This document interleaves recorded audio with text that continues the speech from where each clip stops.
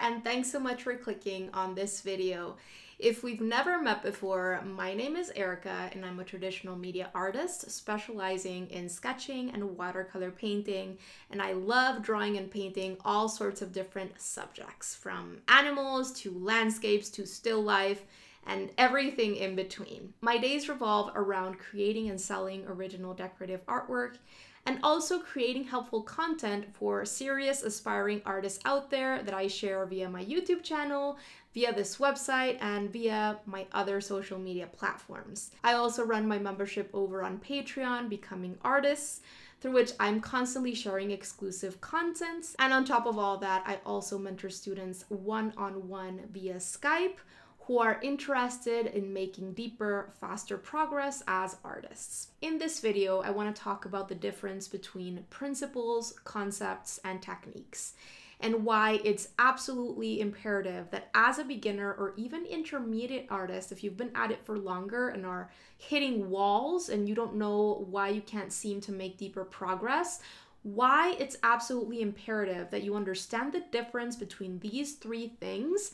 and that you actually start incorporating, adopting new knowledge and also practices that are going to help you advance your skills in all three areas if you're looking to make deeper, serious artistic progress. I've had the immense honor of teaching and guiding artists of all different kinds of levels, ages, and mediums for almost 10 years now, initially at a local level, and a few years back, I started taking what I do online, which has been amazing because my message has grown at a larger level and I've been able to impact artists from all over the world.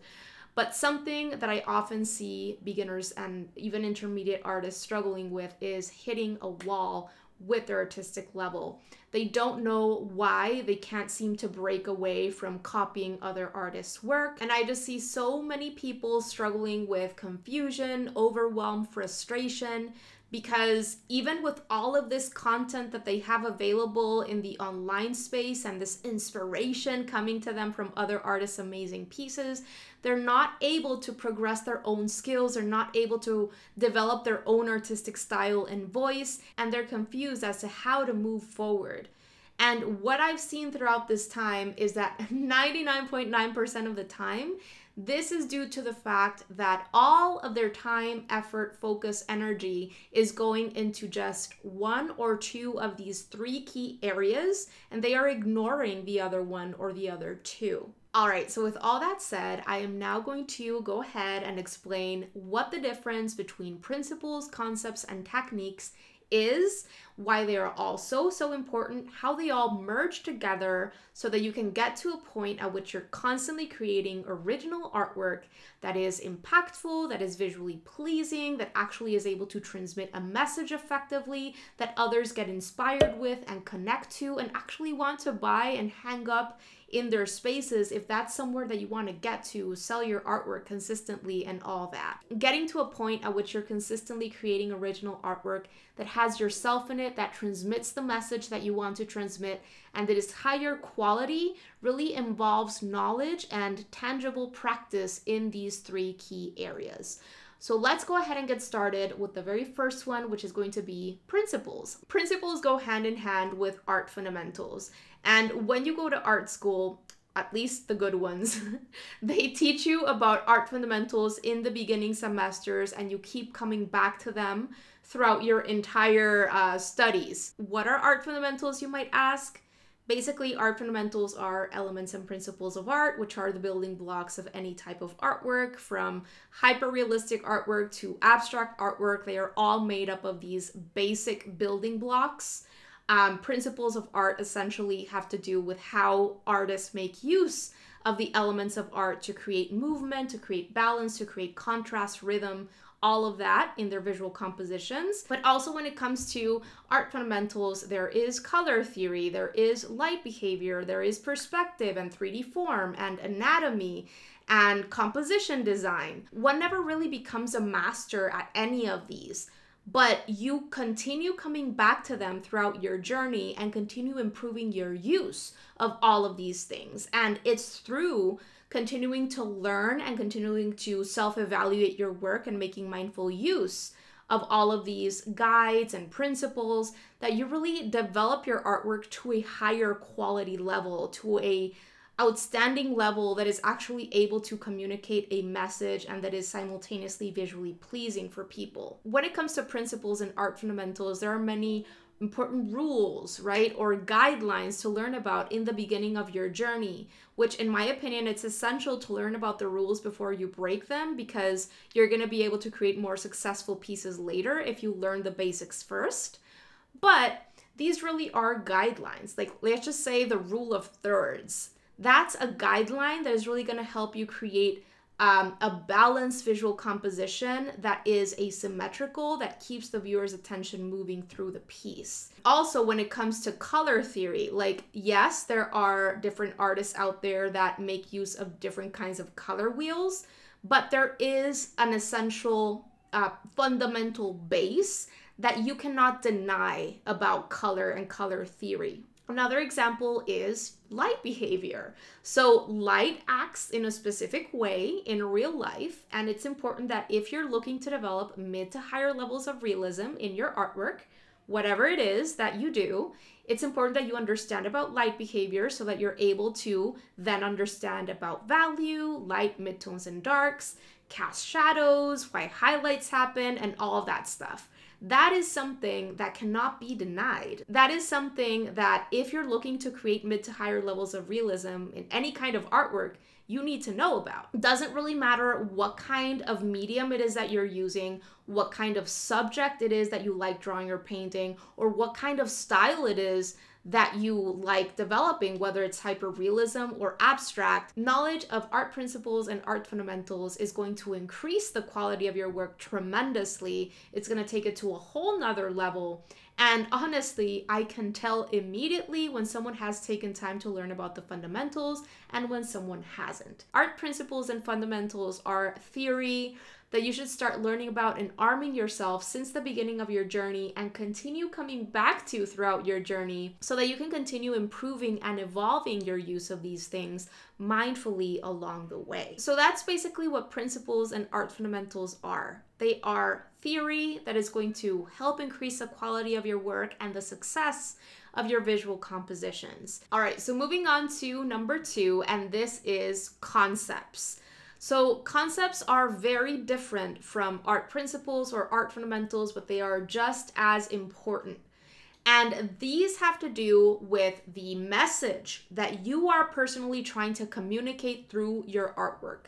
So, what is important to you? What do you feel strongly about? And what message, idea, or story are you trying to communicate through your artwork. Whether you're creating still life compositions that have only one single object in them, or whether you're creating pieces with a ton of different uh, figures in them that are doing specific things, and a background, and a middle ground, and a foreground, and everything in between, you should be trying to communicate something through your work. And sometimes it's just gonna be a mood or a vibe, and other times it's gonna be a full story or a, you know, sometimes pieces have a whole narrative to them.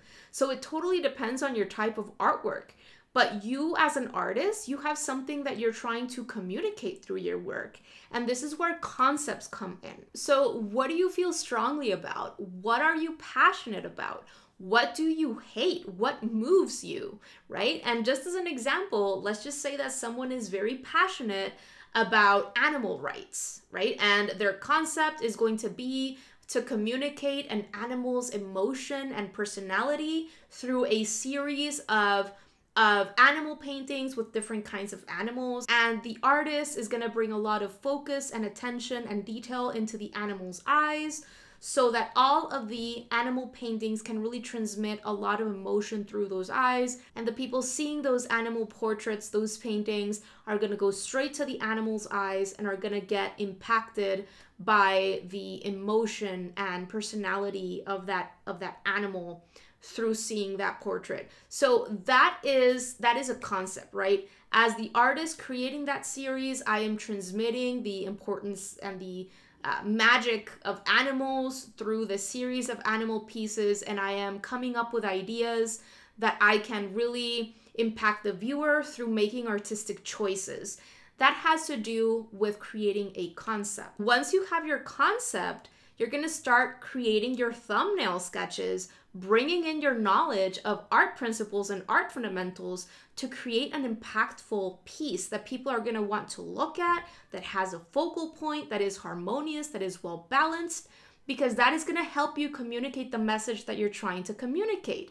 But if you don't know about composition, if you don't know about elements and principles of art and how to create asymmetrical balance and interest in a piece, then it's going to be very difficult for you to do because you could have an amazing concept, but if you don't know how to create a visually pleasing composition, it's super easy to create a piece that is very overwhelming to look at or that simply fails at communicating the message that you're trying to communicate. And I see this all the time, even when beginner artists have that confidence to go straight in and create original compositions. Oftentimes, their drawings or paintings end up being very overwhelming to look at, very simple and boring to look at, or just they fail to communicate what they're trying to communicate. But an art concept is where you bring yourself into your artwork. It has to do with you sharing your own personal message through your work, what's important to you, what you're passionate about. So I hope that the difference between art principles and art concepts is clear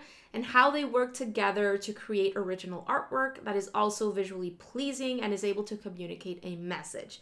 Now let's move on to thing number three, which is gonna be technique. Technique varies immensely from artist to artist, and it has to do not only with the particular mediums that the artist likes to use, but also how that specific artist uses those mediums. This one has to do with practicing and gaining mastery over the specific drawing or painting mediums of our choice, whether it's graphite pencils, pen and ink, watercolor, acrylic paint, whatever it is, technique has to do with the specific mediums. And this one goes hand in hand with going through artist tutorials and artist courses that they share. Um, they help us gain an understanding about about watercolor, about graphite, about pen and ink, whatever it is, they help you understand the medium, what makes the medium different from other drawing or painting mediums, and also they help you increase your mastery over your medium. Once again, this is very different from art principles and fundamentals and also from creating an original concept. This is specifically on technique, on the technical skills that you have to gain to see your vision through. Something I see so many beginners struggling with is they're able to gain a high skill level with their drawing or painting medium, but when it comes time to creating an original piece, they're completely lost. They don't even know where to start. And the reason this is, is because all of their time, energy, and focus has gone into following step by step tutorials or workshops or classes in which the instructor is telling them exactly step by step what to do. So when those step by step instructions have been taken away, when the reference photo has been taken away, when the instructor has not even given you any understanding of elements and principles of art throughout the process or has not encouraged you to bring in any of your own ideas to change the visual composition throughout the process, obviously you're to be completely lost because you don't have that anymore. It's important that as a beginner getting started with a new drawing or painting medium, you do take classes, you do go to courses, you do understand about the medium so that you then can actually know how to use it to create quality pieces, right? However, once you understand how to use the medium and once you have gained at least a basic skill level, try to start creating your own original pieces as soon as possible so that you don't hit that wall. Because not only has that visual composition already been created for you, but you're following a step by step process based on another artist's way of doing things. And you have to start creating your own visual compositions from scratch. You have to start developing that project mentality. And it's only through going through the entire process of building up something from scratch that you get to know yourself artistically, what you like, what you don't like, and you get to know your own way of doing things. And that's how you develop your own artistic style and voice, not through only going by step by step tutorials. Still, to the day, I invest in courses provided by artists that I admire on drawing and painting that are going to help me increase my skill level and my technique because I know that this is important and that this is a learning journey and that the learning never stops. But still, even when I'm going through those classes, I am making sure to bring myself into the piece as much as I can and to always bring in my knowledge of art fundamentals and art principles to think of how I can improve the piece or how I could change it to actually communicate what I'm trying to communicate. I hope that I've clarified how all of these are different and why they're all important and how they all mesh together, right? It's through knowledge of your tool and developing your technique of your medium that you're able to actually make your visions come to life.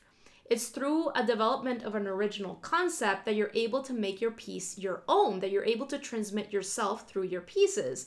And it's through knowledge of principles of art and also art fundamentals that you're able to actually create quality pieces that are harmonious, visually pleasing, that are able to communicate the message that you're trying to communicate. All of these three mesh together to create effective artwork. What I constantly see is that people focus on one of these or two of these and leave out the other one. And this is why they're never able to make deeper progress that they're seeking. And this is exactly why I teach the way that I teach and why I create my resources the way that I do, because it's my objective to get all of my students and community members to a point at which they're creating original quality artwork. And not only this, but I'm also incredibly passionate about helping my students develop a strong, positive artistic mindset that is going to help them succeed long term. All right, you guys, that is going to do it for today's video. I hope that this was helpful for you.